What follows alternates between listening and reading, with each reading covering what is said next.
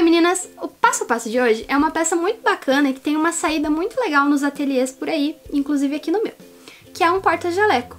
E esse aqui eu fiz um pouquinho diferente. Eu fiz ele assim, ó, com viés a toda volta. Aqui eu coloquei um bolso maior, que é pra colocar o jaleco. E aqui em cima tem mais um bolso grande de plástico, que dá pra colocar o estetoscópio ou um termômetro, algum outro aparelhinho que a pessoa queira carregar junto. Aí só precisa carregar numa bolsinha só. E esse tecidinho que eu tô usando aqui é da coleção Doutores da Estilotex. E a Estilotex está presente em armarinhos de todo o Brasil. Mas se você ainda não sabe onde encontrar a marca na sua cidade, aqui embaixo na descrição do meu vídeo vai estar o contato deles e o site para você descobrir onde encontrar. Vamos ao passo a passo?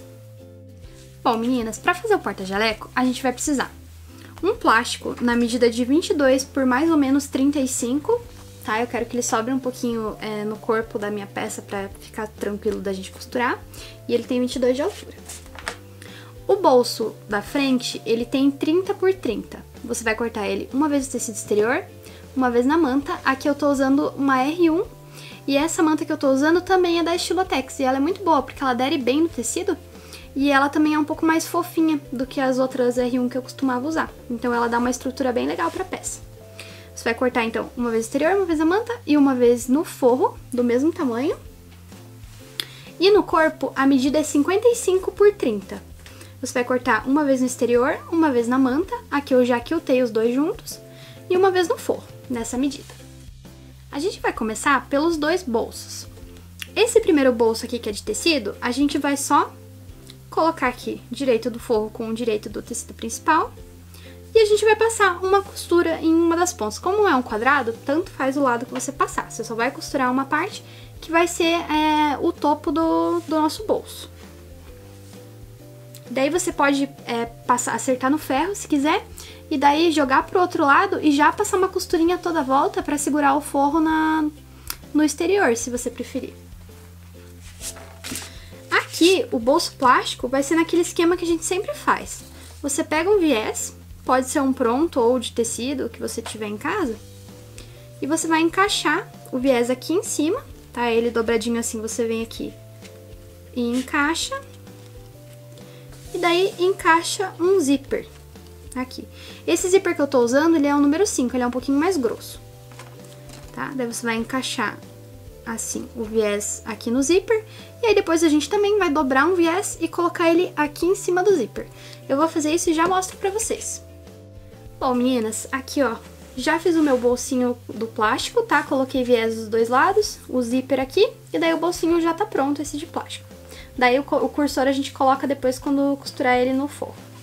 E esse bolsinho aqui, que vai ser é, o bolso porta-jaleco mesmo, é aqui também, ó, já pespontei aqui em cima, onde eu costurei, daí ficou com esse acabamentinho. E aqui só passei uma costurinha pra segurar a parte do exterior no forro. Daí esse meu bolso já tá pronto, a gente vai deixar ele de lado um pouquinho. Daí a gente vai pegar o tecidinho de forro da parte do corpo e a gente vai costurar esse bolsinho plástico. Você alinha ele aqui, ó, com, com a base.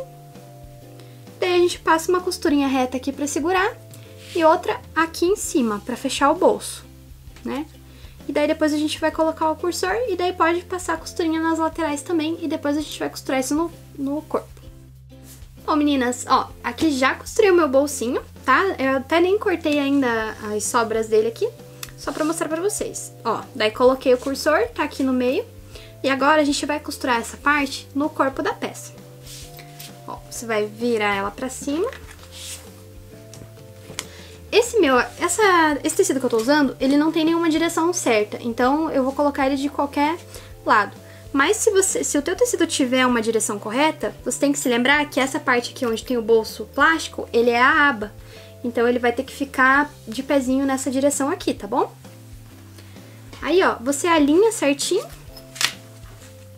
Aqui assim, o meu tá sobrando um pouquinho porque eu cortei maior. Ó, e daí agora a gente vai passar uma costura a toda volta pra segurar a parte exterior no forro tá bom? Eu acho mais fácil costurar aqui pelo lado do tecido principal com a manta, porque ele escorrega menos do que o forro. E aqui daí eu já arredondei antes, né, de... Antes de fazer... de eu eu arredondei na hora que eu quiltei a peça, daí agora a gente vai costurar arredondado aqui e daí depois a gente iguala o forro. Ó, gente, aqui já costurei, meu forro tá presinho na parte exterior. E agora a gente vai costurar o último bolso que falta, daí a nossa peça já vai estar tá quase pronta. Agora, ó, é a hora de costurar o nosso bolsinho maior. Você alinha ele aqui, ó. Tá? Também dá pra costurar ele por aqui, porque daí a gente acerta o arredondadinho daqui. E daí, depois disso, a gente vai passar um viés a toda volta na peça, tá? Eu vou fazer tudo isso e já trago a peça pronta pra vocês.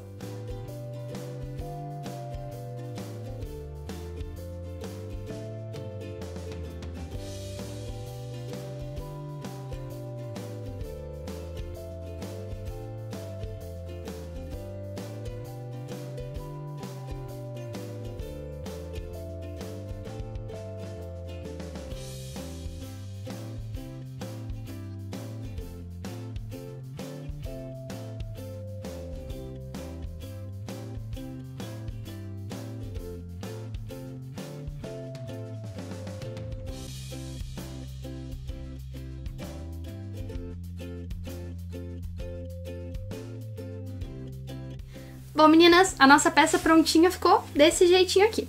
Aqui eu só coloquei dois botõezinhos, tá? É, de pressão mesmo.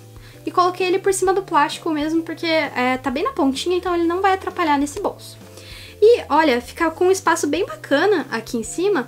Então, para quem tem máquina de bordar ou faz aplicação, fica bem legal também aplicar nome ou colocar um símbolo, alguma coisa eu tenho certeza que vai ser sucesso de venda aí no ateliê de vocês. E se você gostou desse vídeo, não esquece de deixar aqui o seu like e de se inscrever no canal. E deixa um comentário aqui também para dizer se você gostou ou não dessa peça e quais outras peças você quer ver aqui no canal. Tchau e até a próxima!